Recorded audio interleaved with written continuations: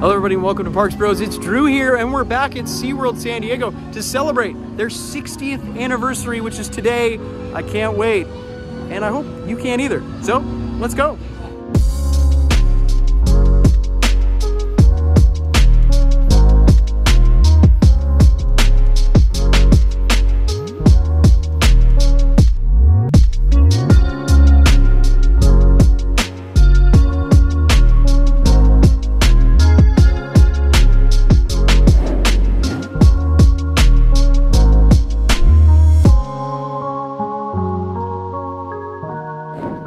So first thing upon entry today on the 60th anniversary of SeaWorld San Diego, there was some big changes on the horizon. I have not been here since October, so I got to see the brand new front entrance work going on. You can see they already changed over the security entrance and that's looking stellar i gotta say definitely an upgrade however they have officially torn down the wave entrance at the front of the park they're going for a new style. I will say I'm almost as salty as the sea when it comes to that change. However, I am excited looking at the concept art a little closer as it seems like they're going to change the entirety of the entrance, including all of the touch pool area as well as the theming behind it. I'm very curious to see how that's all going to look and we're going to see constant construction, it seems, for probably the rest of this year and maybe even further. With these new changes, definitely keep an eye out for the changed entryway as well as security checkpoint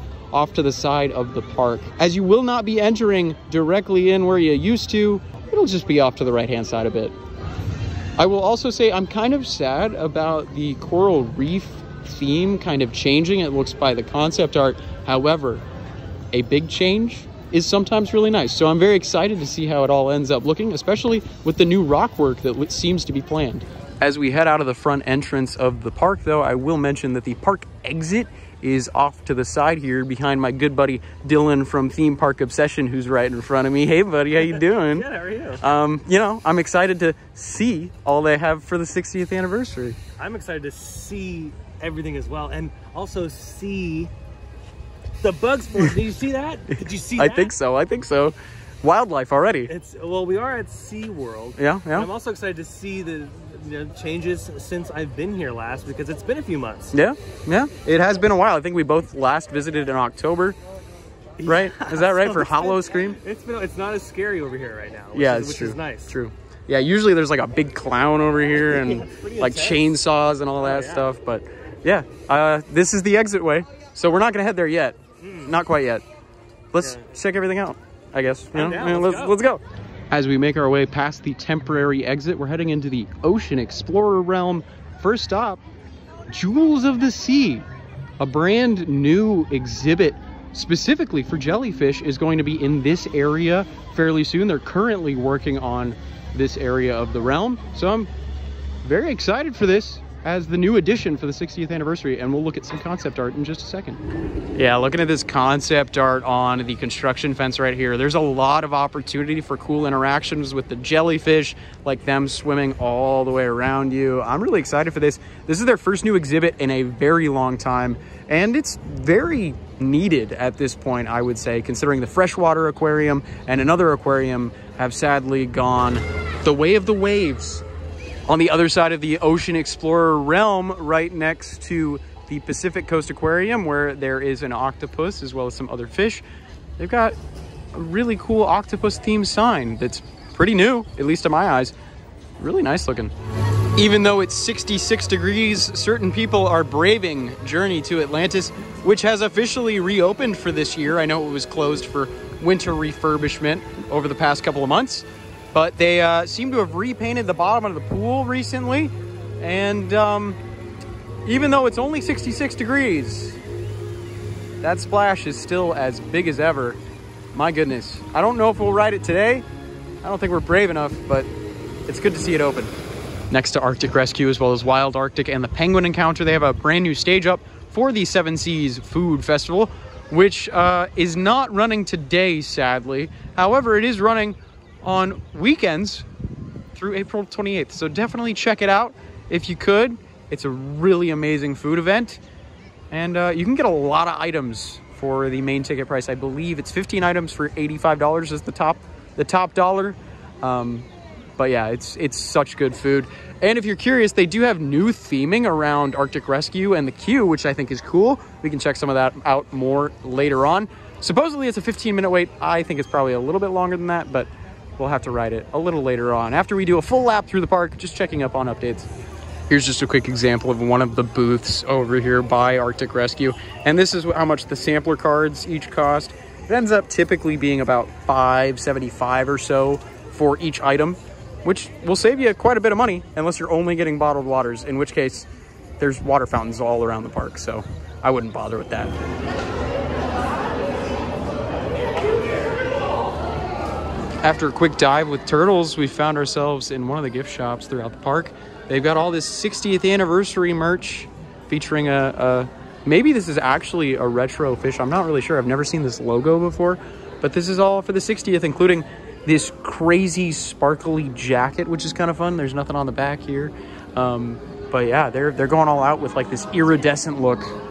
Um, it's pretty cool. I like I like this tie-dye shirt a lot. This is $34.99, at least before pass holder discount. It's kind of nuts. There's tons of mugs here as well. I really like the color scheme. $24.99 for the mugs, as well as I don't know what these are. Are these coasters? I think they're coasters. Yeah, yeah, $14.99 for those. This is all cool looking. I like it a lot.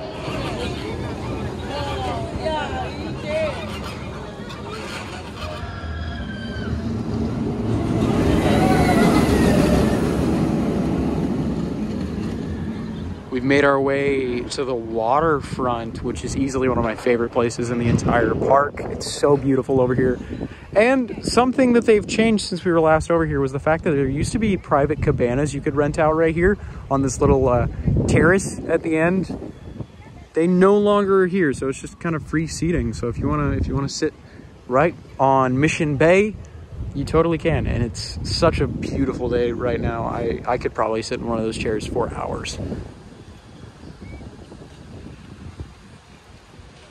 Right next to the Bayside Amphitheater, where Tidal Twister used to roam. Uh, it's officially been completely demolished. Um, you can kind of barely see it through the cracks, which I won't show.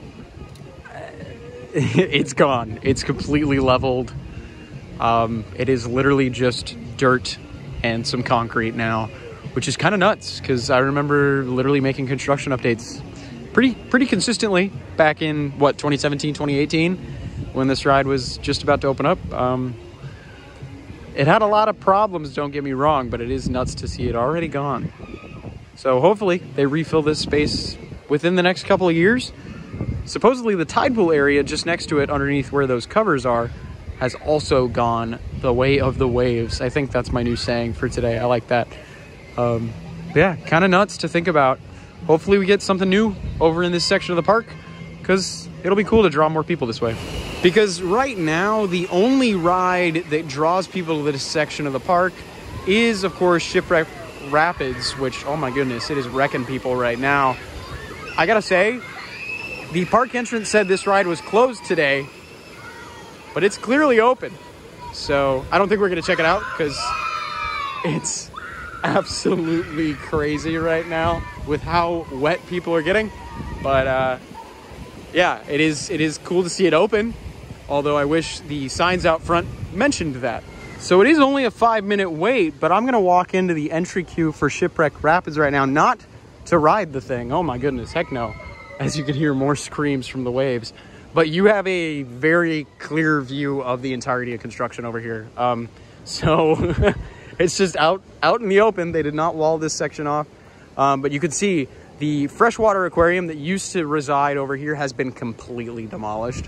Um, so that is also a spot they could build something new. So the tide pool's gone the way of the waves. Tidal Twister, obviously gone with the exception of its exit platform because that is all like concrete and stonework. But also the fact that the aquarium is now demoed as well.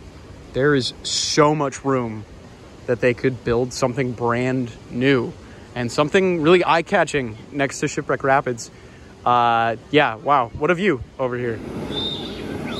Construction updates done. Now it's time for some thrills, starting with Manta. Let's go ride. Well, our first coaster ride of the day is going to be Manta. Opened 12 years ago now. Kind of crazy to think about. But it does look like they've actually repainted sections of the track because you can no longer see some of those wheel lines on the tops and sides, especially of this piece of track right here as it's about to race by.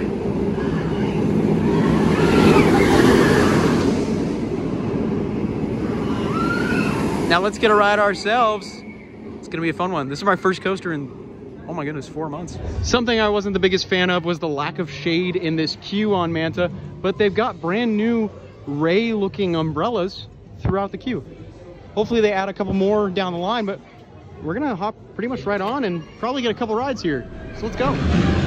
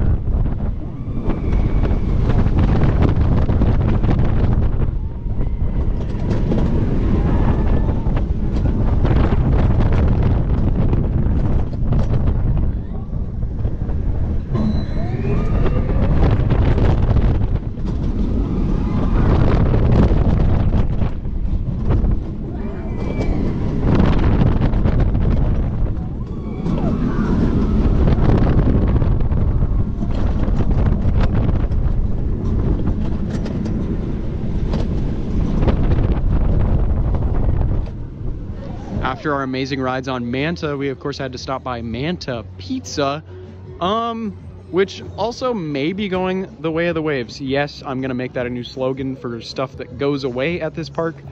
Uh, but you can see it's temporarily closed. There's also no longer the TV screens for orders, and it looks like the inside is pretty much all but been cleaned out uh, outside of just like your standard uh, restaurant stuff, like where you know a, a sink, some oh hi Manta. Um, but yeah, you, you, get the gist of what I'm trying to say.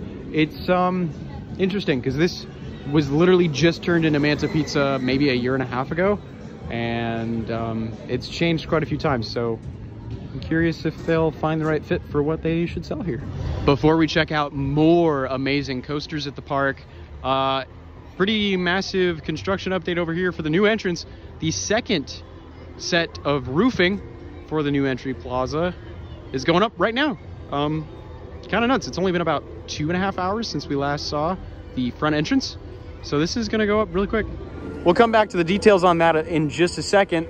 But first, we gotta check out all of the 60th merch, which is right in front of us. At least some more stuff we didn't see before. All right, officially looking at all of the merch. I gotta say, there's some really good winners in here. All of these cool pieces of merch are actually using the original logo from 60 years ago, which is really cool. And I gotta say, some favorites for me are that baseball cap and the baseball jersey even. But do know that the cap itself is $33 and the jersey is $80. And don't forget that 5% surcharge as well. I'm pretty sure you get a pass holder discount on that. I don't know how much that will be. It depends on the pass that you own. But I gotta say, all the merch seems to be a pretty big win. I love most of it. I wish I could get a lot of it, including even this little backpack, which is really cute, really sparkly. Okay, it's time for more coasters as we walk by some active construction on the right-hand side for the jellyfish exhibit. This time, we're hitting up something a little more intense, electric eel. By the way, I wanted to mention, Manta was my first coaster of this year. That's how out of it I've been the past couple of months. I'll probably talk about that after electric eel, but let's get on this beast, 150 feet in the air. multiple inversions, and backwards and forwards launches.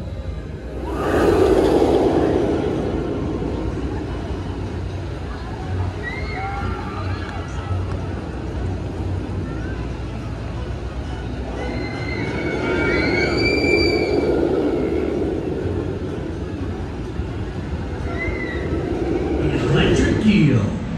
Platform scan. You ready to platform get clear. electrified? Oh, I'm ready. Oh boy. And that means you guys are out of here.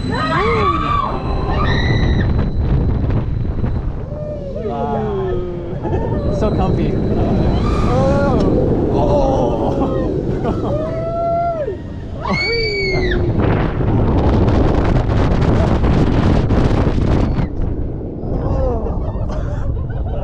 Goodness oh gracious.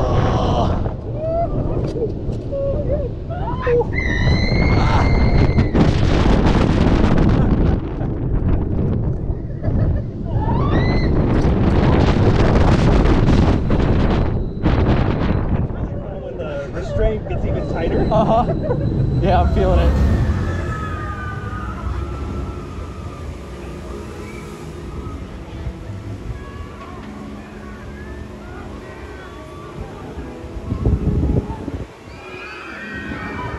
As we head to our next coaster, Emperor, I gotta say, um, the park is putting in little touches of theming here and there that were not there before. I mean, more plant life has spawned over here, as well as more rock work, uh, as well as you can see along that fence line, a cool landscape of presumably Antarctica. So let's hop right on. It's pretty much a walk on over at Emperor right now. So yeah, more coasters on the way, right, Dylan? Yeah. let's let's have a fun time.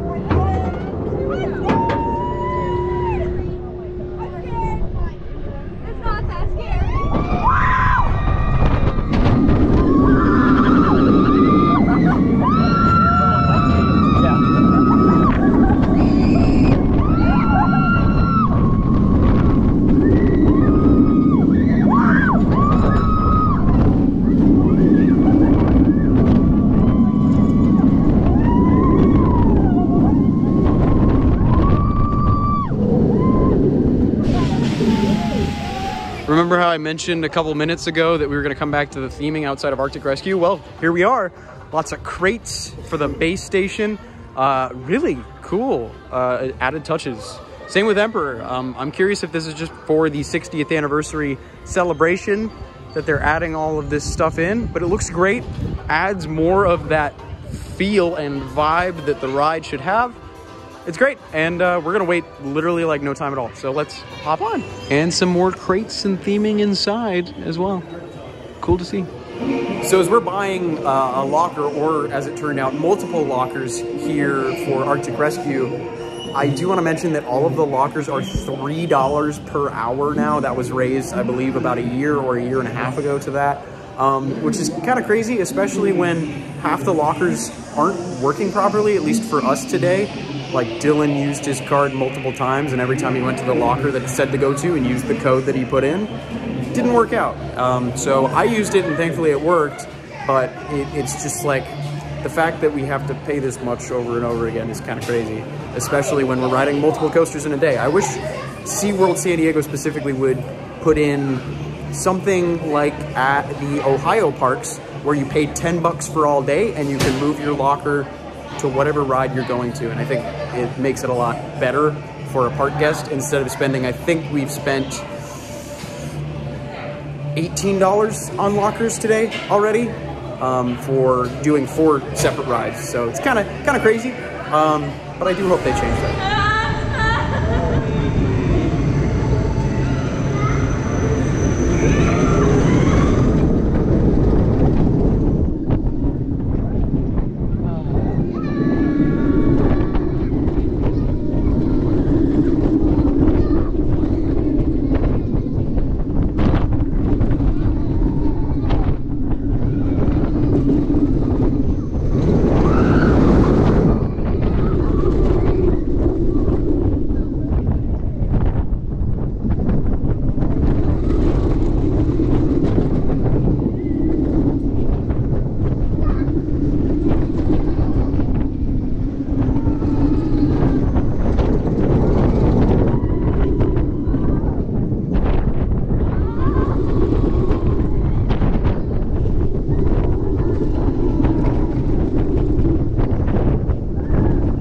So we did just get an amazing back row ride on Arctic Rescue, but I do want to talk about the locker situation a little bit longer. So something that I've kind of felt for a long time about lockers when it comes to every park, let alone just SeaWorld San Diego, um, it feels like a punishment to bring a bag or a backpack. Uh, thankfully today on some rides, they've actually had the bins out, but we didn't know that. So I haven't seen the bins out in years. Um, so technically we didn't need to buy a locker for specifically Manta. However, with them having problems constantly and the fact that we do kind of get punished for bringing a bag, there's supposed to be kind of a trade-off, right? No bags equals quicker dispatch times, meaning you can get on rides quicker. However, today that hasn't been the case whatsoever. Um, for Arctic Rescue, there were certain dispatches that took four, five, six, maybe even seven minutes long. Sure, on average they were about two minutes each, but still, there were there were a couple dispatches where it was just in a row, taking its time. So it's a bummer because we're getting punished and actually having to physically pay money for us having bags in the park, but not getting anything really in return for that. So I think it's something all parks need to work on in the future because the whole rental locker situation is really just egregious in general, especially when you have other parks like Universal doing lockers for free. Um, yeah, it's just, it's a, it's a real bummer, kind of, kind of puts a damper on the day typically. Now, I don't think I'd be as kind of upset about this if there was that option to just pay $10 flat for the entire day and be able to move your locker from ride to ride. However, between Dylan and I, we've spent $18 just for riding five rides um, because of the little mishap earlier with, with Dylan's lockers not opening. And um, yeah, $18 in total to ride five rides just because we have bags. It's kind of weird to say the least. But to kind of lighten the mood, let's check out Wild Arctic and see if there's any changes there. Before we head into Wild Arctic itself, I did want to mention these new graphics and posters on the walls. Really looking cool. Giving you some more info about the Arctic, as well as polar bears and harbor seals in specific on this one. Also, here's some info on the Arctic Circle, which kind of ties back in to Arctic Rescue itself, and you'll see some familiar flags that are actually next to the attraction itself outside. Uh, another thing that has started to be implemented at more SeaWorld parks is mobile order only locations, including the Chicken Snack Shack. Um, we were thinking about maybe getting a funnel cake, but honestly, it kind of deters me uh, trying to do the mobile order thing. I wish I could just walk in and pay money because there's no line or anything, and they've got people inside staffing it. Um, but we'd have to mobile order. And personally, I don't want to do that. So we're gonna move on with our day further. We've got about an hour till park close. Just before leaving, look at these new statues for the orca encounter. I gotta say that one on the left is amazing of it jumping out of the water like that. Cool additions. I know these fins were here prior, but this is something brand new to me. Here's one last look at the front entrance. It looks like uh, we're about halfway there. All we need is the big canopy over the middle as well as the sign and it should be good to go out, outside of maybe some paint and finishing touches. But yeah, it's uh, it's definitely there. Um, I'll save my full opinions till it's done. So that's officially gonna do it from the official 60th anniversary day of SeaWorld San Diego. Uh, kind of crazy to actually be here on a day like today. Sadly, we missed the opening at 10 a.m. just because it takes so long to get down to San Diego proper uh, for Dylan and I. But man, oh man, it was fun to be here. Kind of historic in a way, which is kind of cool. I did kind of want to buy some of that merch because it had the day we were specifically there. Um, but I will say, really fun to ride all the coasters, get to see all the construction updates because there's so much going on at this park right now. And I'm really appreciative of a lot of it. Uh, I will say kind of a sour note at the end with the locker situation, but hopefully they can change some of those policies in the future or I'll just stop bringing a bag entirely, which is kind of a bummer. But we'll uh, have to wait and see on that one. But I hope you all enjoyed. I really do appreciate you joining Dylan and I. Make sure to subscribe to Theme Park Obsession if you have not. We're trying to get to, we're trying to get him to 100,000 subscribers. I think that would be really cool. But I want to say thank you all so much again for watching. And until next time, We'll see you on the next ride.